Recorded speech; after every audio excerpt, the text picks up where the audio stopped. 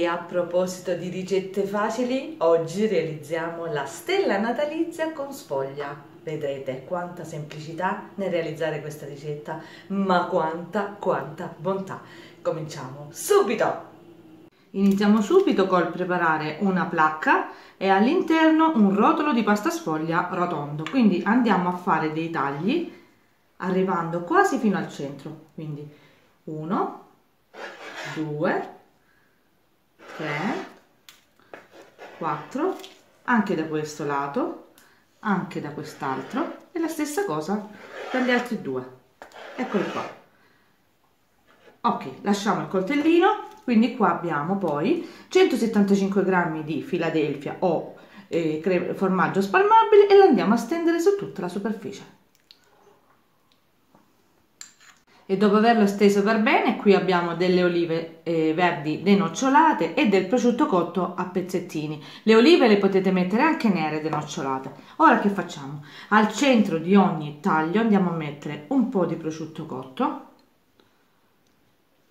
Ora metto un'oliva. Di prosciutto cotto ne ho messa soltanto una fetta tagliata a piccoli pezzetti. Mettiamo le olive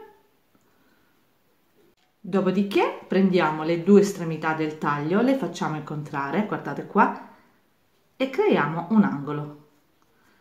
Andiamo a pigiare con i polpastrelli, chiudendolo, sigillandolo, e così facciamo con tutti gli altri. Ora lo stesso lavoro di prima, cioè i tagli che abbiamo realizzati all'estremità, li facciamo al centro.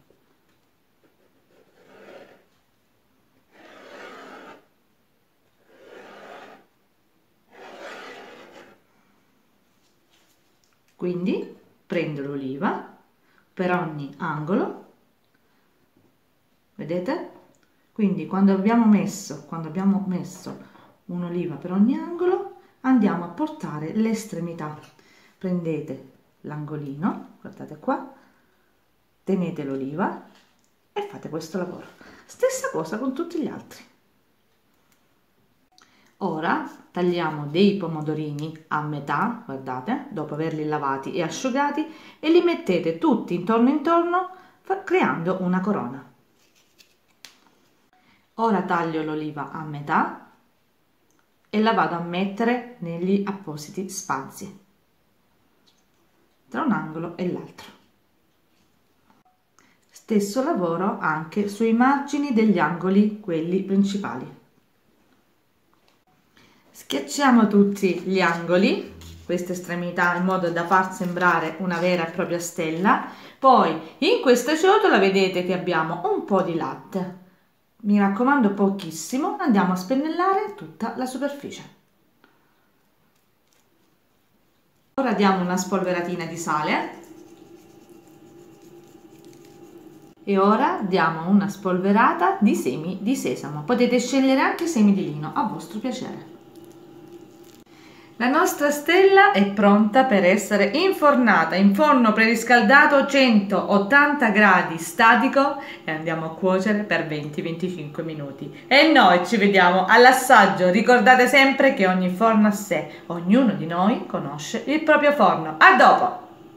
E guardate Guardate che bella, guardate che bella. Ma che figurone non farete il giorno di Natale? Guardate che bella, una meraviglia, una meraviglia. È caldissima, l'ho adagiata nel piatto. Vado a togliere la decorazione e guardate, in tutto il suo splendore. Bella, bella proprio. Allora, io vado, aspettate che così mi faccio vedere meglio. Vado a prenderne un pezzo, è caldo caldo, ma come tanti, in tanti sapete, io adoro le cose caldissime, quindi preferisco. Mm.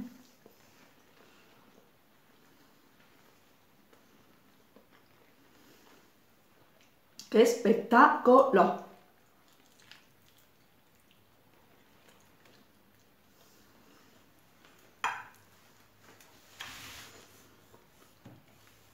Mamma mia. Allora, può essere un antipasto, può essere un aperitivo, può essere uno snack, uno può essere tutto, può essere. Ma se lo fate, anche per i vostri bambini, guardate che meraviglia, uno spicchio ciascuno ai vostri commensali, sarà veramente una serata eccezionale o una giornata eccezionale. Grazie a tutti di cuore da Tiziana Manimpasto con, questa, con questa stella meravigliosa. Grazie, vi voglio bene, grazie di cuore per tutto, perché ogni tanto mi piace ringraziarvi particolarmente per tutto ciò che fate per me e per i commenti meravigliosi che mi lasciate. Ciao da Tiziana Manimpasta!